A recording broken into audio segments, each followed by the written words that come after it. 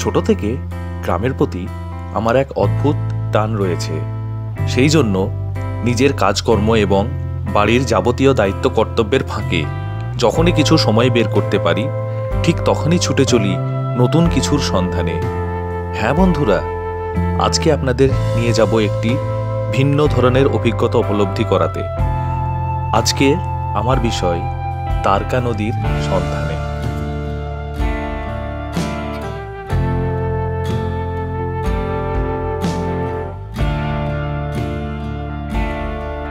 আমার পথ চলা শুরু হয়েছিল কান্দি বহরমপুর জাতীয় সড়কের ট্যামাথা মোড় থেকে। ধূসর রাঙামাটির পথ ধরে দুপাশ জঙ্গলের মধ্যে দিয়ে এগিয়ে যেতে থাকলাম দ্বারকা নদীর সন্ধানে।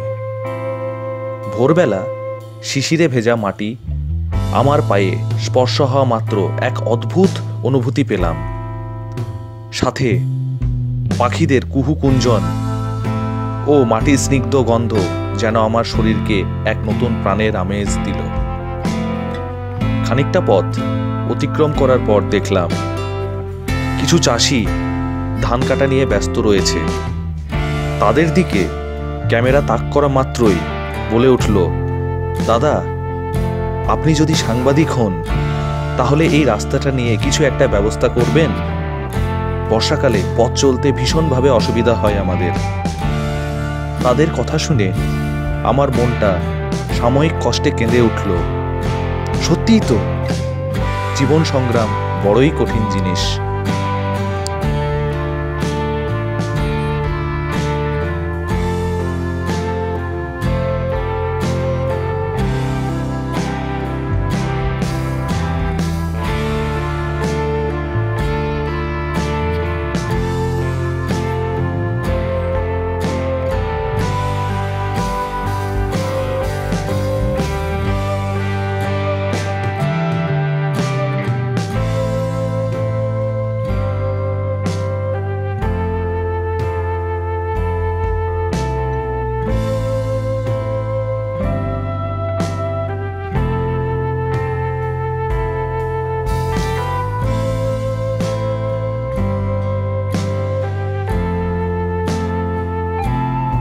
পথ চলতে থাকি, নদীর সন্ধান কখন পাব বলে। রাস্তা দিয়ে চলার সময় কিছু বাচ্চাদের সাথে দেখা হলো। তারা নদীর ওপারের গ্রামগুলি থেকে পায়ে হেঁটে স্কুলে আসে। সারিবদ্ধভাবে কিছু ট্রাক্টরেরও দেখা পেলাম। অনেকখানি পথ অতিক্রম করার পর দূরে একটি বটগাছ দেখতে পেলাম। তখন আমি আনুমানিক প্রায় তিন কিলোমিটার পথ অতিক্রম করে চলে এসেছি। শরীর বড্ড ক্লান্ত ও পায়ে ব্যথা শুরু হয়ে গেছিল। কিন্তু নতুনের সন্ধান আমাকে ভীষণভাবে টানে, তাই আমি থামিনি। দূর প্রান্তরে কিছু বড় ঘাস দেখতে পেলাম। তার মধ্যে এবড়ো খেবড়ো মাটির আলপথ দিয়ে আমাকে অতিক্রম করতে হবে। সাপের প্রচণ্ড ভয় লাগছিল। বাংলা সাহিত্যিক সৈয়দ মোস্তফা সিরাজের লেখা তৃণভূমি বলে একটি গল্প পড়েছিলাম। তাতে উলু ঘাসের উল্লেখ ছিল। গ্রাম্য ভাষায় উলা ঘাস বলে আমরা জানতাম। আজ চোখের সামনে সেই ঘাস দেখতে পেলাম। সবকিছু বাধা বিপত্তি পেরিয়ে আমি নদীর পাড়ে এসে উপস্থিত হলাম। প্রকৃতির সৌন্দর্য যে কতটা নির্মম হতে পারে, তা হয়তো কষ্ট করে না আসলে দেখতে পেতাম না বা দেখাতে পারতাম না আপনাদের। দীর্ঘক্ষণ একা দাঁড়িয়ে আমি উপভোগ করলাম সেই দৃশ্য। ঘটিংঘাট বলে একটি নদী পার ছিল, কিন্তু সেখানে পৌঁছাতে পারিনি। সেখানে কিছু নুড়ি পাথর স্রোতের প্রবাহে জমা হয়। তার নাম অনুসরণে এই নাম।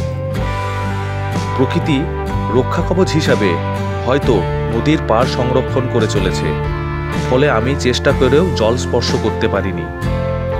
প্রকৃতি তার পার্কে অজস্র আগাছা দিয়ে ঘিরে রেখেছে, যাতে তাকে কেউ ময়লা করতে না পারে। প্রকৃতির অপরূপ মায়া দেখে আমি সেদিন মুগ্ধ হয়েছিলাম। দীর্ঘক্ষণ তার পাড়ে দাঁড়িয়ে আমি শুধু তার রূপই দেখে চলেছিলাম।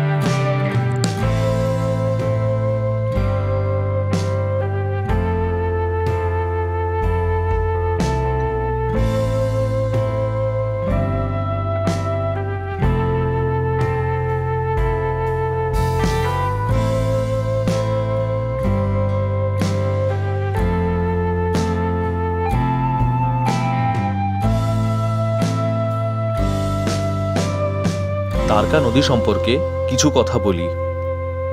দ্বারকা নদের উৎপত্তি ভারতের ঝাড়খণ্ড রাজ্যের সাঁওতাল পরগনা বিভাগে।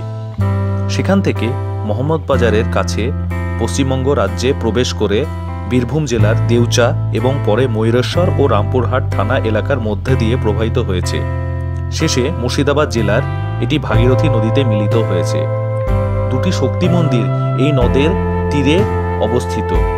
এ দুটি হল দ্বারবাসিনী ও তারাপীঠ। দ্বারকা নদ ছোট হলেও এটি বিভিন্ন নামে পরিচিত এবং এটির বহু ছোট উপনদী ও শাখা নদীও রয়েছে। এর বহু খালও ভাগীরথীর সঙ্গে যুক্ত। এটি একটি পাহাড়ি নদ এবং এই নদের অববাহিকা হলুদ পাথরে আকীর্ণ। বামিনী, কুলিয়া, ঘাড়মোড়া, চিলা ইত্যাদি কয়েকটি ছোট নদী এর উপনদী। অতীতে দ্বারকা নদ যথেষ্ট বেগবান ছিল বলে অনুমান করা যায়।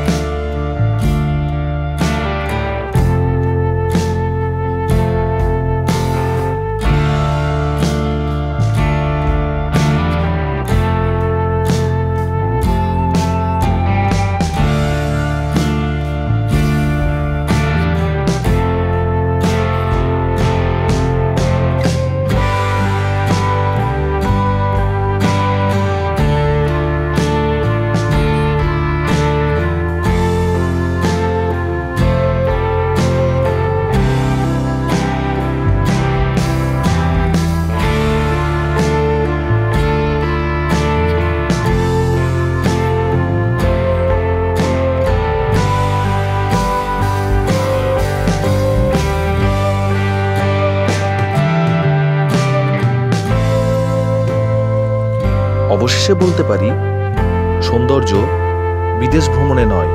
চেষ্টা করলে আপনি তা খুঁজে পাবেন আপনার অন্তরে। বাংলার মাটিতে এমনও জায়গা আছে যা চোখে না দেখলে বিশ্বাস করা যায় না।